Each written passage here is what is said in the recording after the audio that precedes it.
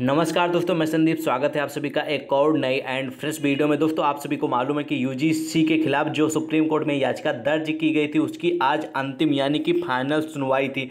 तो क्या कुछ सुनवाई में यानी परीक्षाएँ होंगी या फिर मिलेगा प्रमोशन? क्या कुछ हुआ है? संपूर्ण जानकारी आपको हम डिटेल में बताएँगे। बस आप वीडियो को सही से समझते रहिएगा बस, ठीक है?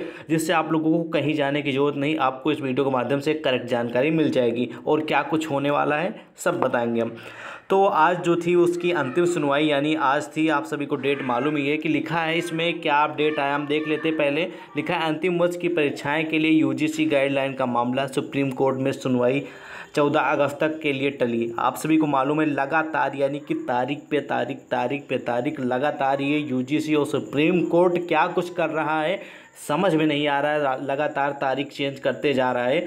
आप सभी ने डायलॉग तो सुना ही होगा, सनी देवल का तो आप लोग खुद ही समझ गए होंगे।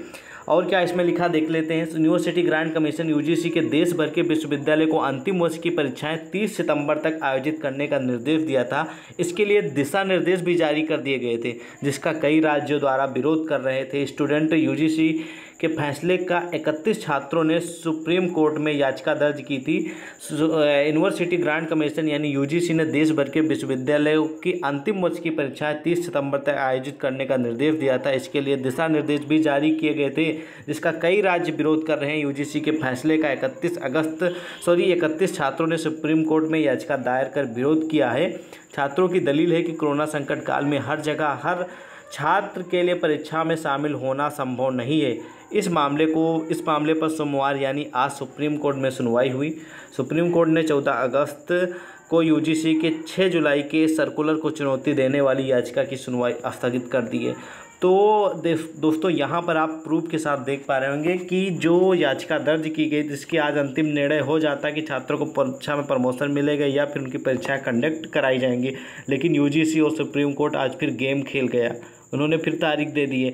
इसी तरह डेट बढ़ती जाएगी और एक दिन ऐसा आएगा जब छात्रों की जब परीक्षाएँ एक दो दिन रह जाएँगी, कुछ दिन रह जाएँगे, तब मालूम पड़ेगा कि परीक्षाएँ कराएगा।